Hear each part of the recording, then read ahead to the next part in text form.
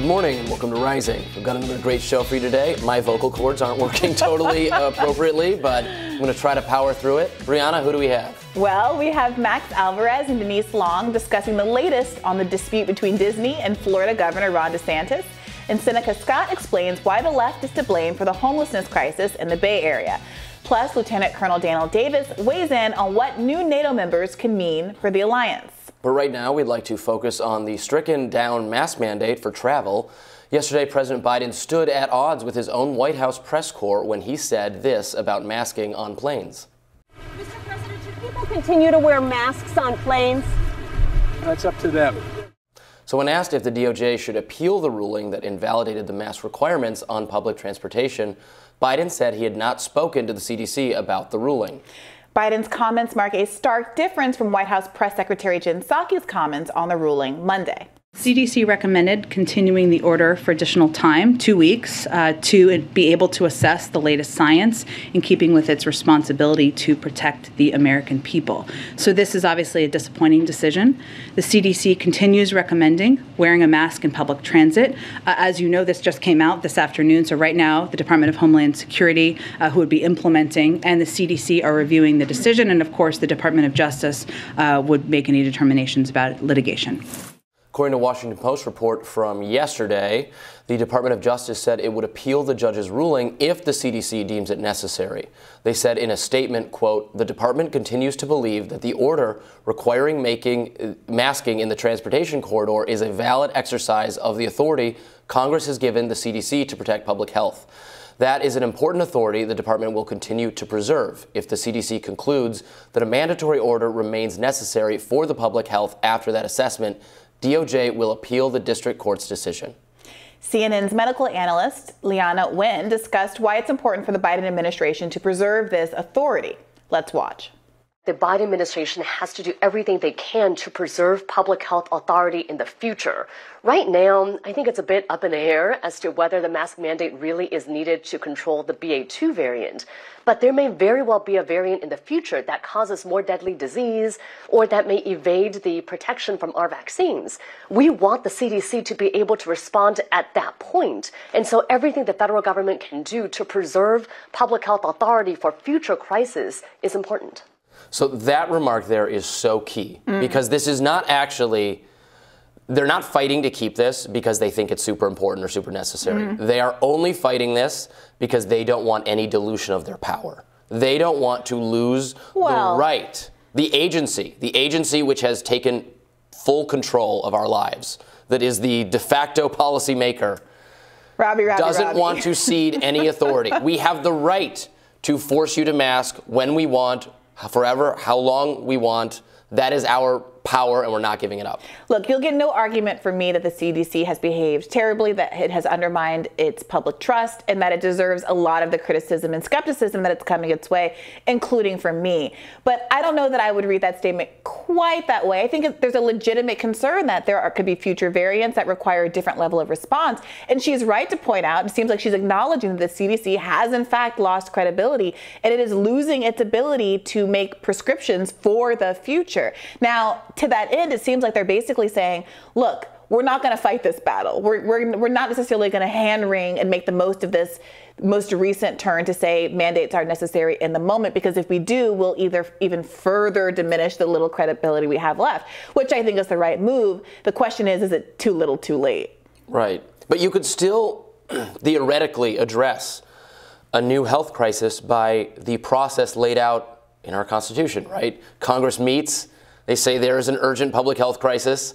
We vote to give authority to the CDC to implement a mask mandate. The president signs it, and then the CDC does it. And we're just all like put it we're saying no, that's impossible. We can't yeah, look, I respect that in theory, but the fact of the matter is our government has been designed to be ineffective.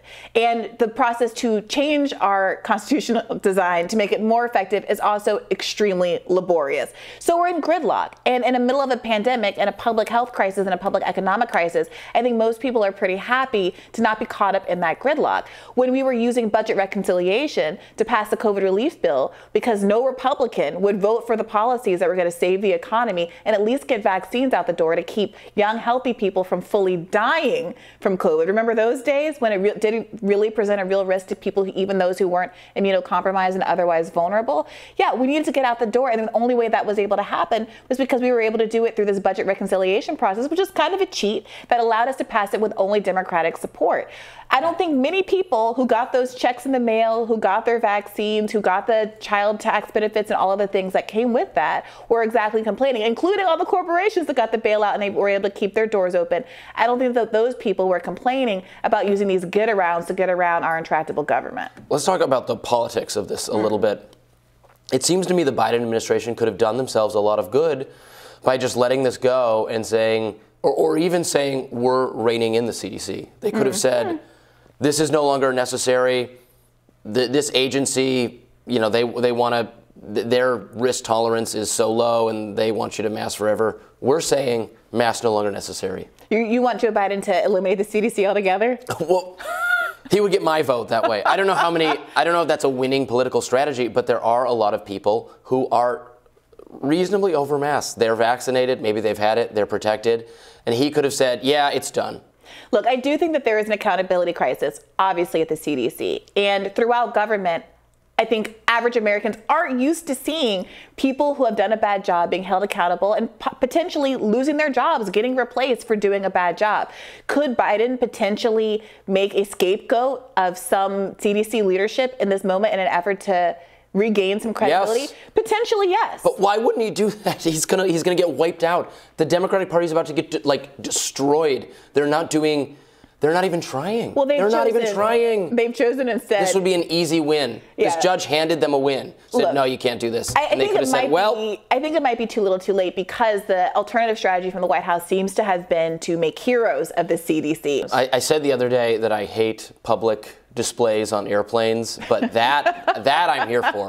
Anti-mask gospel singing, totally on board. I'm glad we lo- we know your line now. Yeah, uh, but this, so this hasn't stopped. However, some leftist groups from organizing against the ruling. So, friend of the show, Philip Wegmann tweeted that the Progressive Change Campaign Committee is calling on major airlines to designate certain flights to be mask required because that's the right way to give people a choice, not sitting mask next to unmasked sneezers and MAGA science deniers, whatever.